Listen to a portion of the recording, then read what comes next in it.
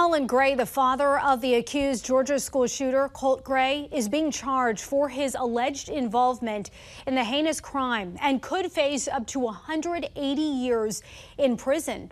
This echoing a similar situation where the parents of Michigan school shooter Ethan Crumbley were sentenced to 10 to 15 years in prison for their role in the shooting that killed four students.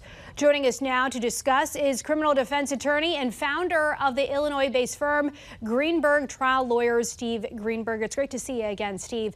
So details of this case, they're limited, but do you agree with the charges being brought against Colin Gray? What ultimately do prosecutors have to prove?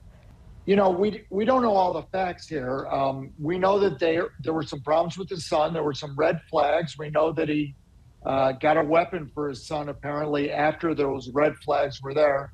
So it's a question of where you want to draw the line in parental responsibility.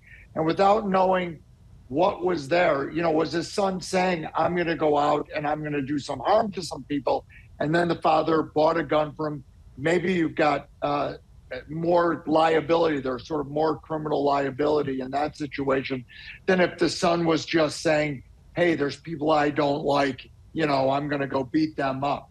The problem I have with this is when you start criminalizing parenting, where are you going to stop? And then when you start criminalizing parenting, are you going to start criminalizing all of the decisions that people make? There are some similarities with a case in Michigan when the parents of a teen shooter were held partially to blame. You mentioned that responsibility aspect of this and the questions surrounding that. So, do you think charging parents for their involvement in their child's crime will in any way act as a deterrent for acts of mass violence in schools? I don't think it's going to act as a deterrent because I think that it's such antisocial behavior that it's more of a mental health problem.